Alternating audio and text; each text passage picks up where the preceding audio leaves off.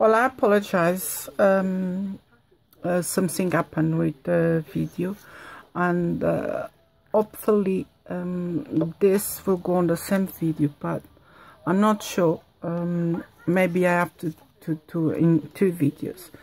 Right so this is another the flower the little embellishments was telling you about. Um,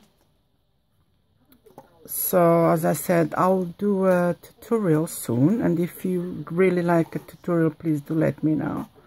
So this is a little ballerina with flowers a heart little bow you know all uh, I believe nice this is butterflies and I like this very much.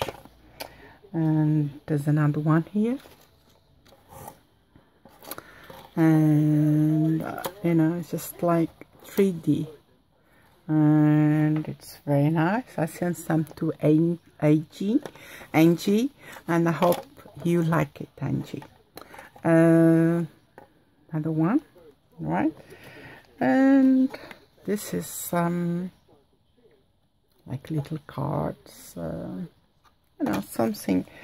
They, they are all really um, oh well I believe they are nice you know just um,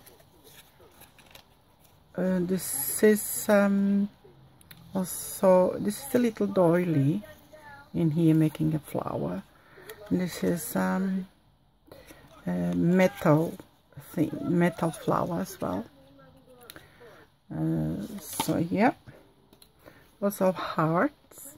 Which uh, found it it's nice little cards. Lots of uh, the it's a lot of hearts you know and uh, flowers. Um this one i think is cute as well. Another one like this one. Another ballerina here just um you know. They're really nice i believe. Well i think they are nice. You let me know if they are nice or not. And please subscribe and um, thumbs up if you like it. And uh, yeah. If it's uh, if it's a tutorial that you you would like to see a tutorial yeah just let me know. Leave the comments. And yeah I'll promise to do a tutorial. Um, so it's very easy you know. This is with scraps of papers and things and you know okay I do with die cuts. You can do any die cut you know as long as or punch flowers wherever it's it's quite easy. Okay? So and that's it.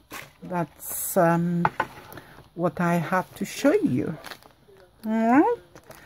So, um, God bless you. Bye.